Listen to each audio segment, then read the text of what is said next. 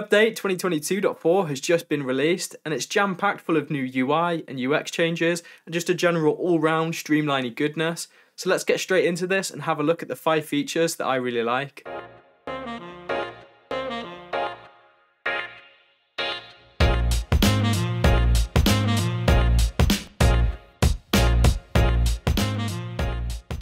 Up first, we've got my favourite feature of the entire update, and it's the ability to create groups using the UI.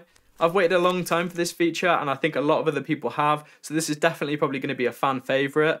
In fact, I love this feature so much that I even created a dedicated video to it, so if you're interested in seeing that video, you'll find a link to it in the description below.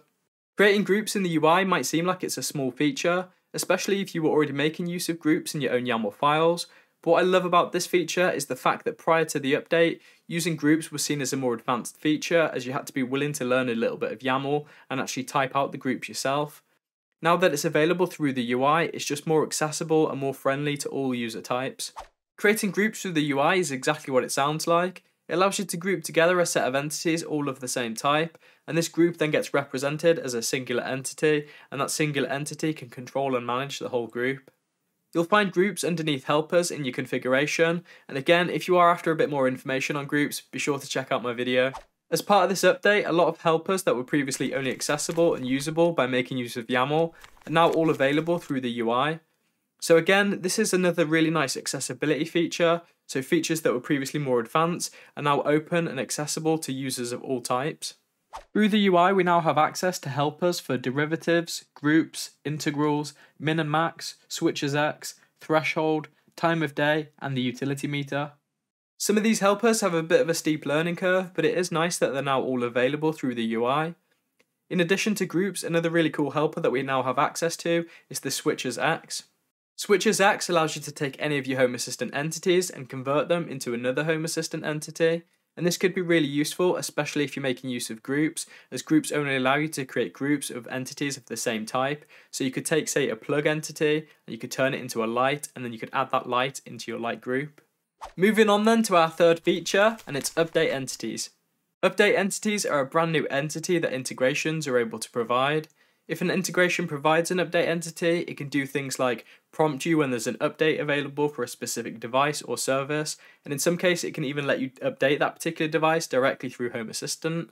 A good example of this is WLED. So if one of your individual WLED devices has an update, you'll be shown it through Home Assistant, and you can even click the update button and update that directly through Home Assistant without ever having to leave. Another really cool thing about update entities is the fact that it's an entity, and because it's an entity, you can make use of it in your automations, so you can actually automate the process of updating specific devices. In addition to update entities being able to update a device or service directly through Home Assistant, they can also provide you with some other helpful bits of information, such as the version number or even the release notes for a particular update. There's now also an option to skip an update, so if ever you see a pop-up on your Home Assistant screen and you don't want to install that update, you can just simply press the skip button. Carrying on to our fourth feature then, and we've got testing conditions.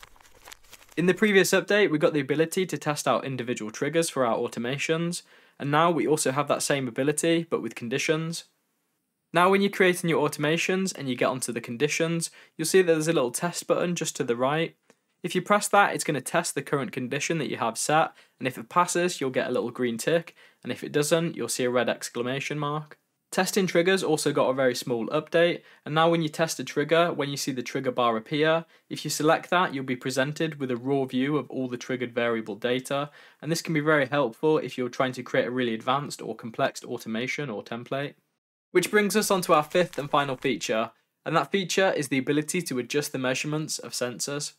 This one is something that's very simple, but it's also very sleek, and it allows you to directly adjust the measurement of a sensor, all using the user interface. So if you've got something that's presented in degrees Celsius, but you'd rather view it in Fahrenheit, then you can simply just change this in a drop-down list. And this is all done directly through the user interface, so there's no need to play around with any templates or do any kind of crazy maths, you just simply select it and it's done. In the future, I'd love to see that feature come to other types of measurements, so things like pressure or energy monitoring, or even data rates, that'd be pretty cool. Before we wrap this up then, I've got a couple of other features and changes that didn't quite make my top 5, but nevertheless they're still really cool. The first one is a whole bunch of new material design icons that were added, so there's now loads to choose from, and I think in the next update there's going to be even more. Following this, we've had even more changes to the Samsung TV integration. I personally make use of the TV integration in Home Assistant, and it now just works flawlessly, so thank you for that, BDraco. And the last one is a big change for timers. Now when Home Assistant restarts, timers will remember and persist their state, so if it was in the middle of a timer, it will carry on when it restarts. And there we go guys, that's been a quick look at 5 of the new features that I really like in the update. Let me know in the comments below what your favourite feature was, and while you're down there, don't forget to hit that like button, and if you're not already, hit the subscribe button and ding dong that notification bell. You'll then be alerted to any future video that I do. As always, a massive thank you to these awesome dudes. These awesome dudes are my Patreons. If you're interested in helping support my channel, which in turn allows me to create content like this, then you'll find a link to my Patreon in the description below. If you want to know a bit more about groups, then you should definitely check out this video that I created, or maybe you want to see how I build and make use of some of my smart home devices, in which case, this video is for you. Thank you for watching, and I'll catch you in the next one. Cheers.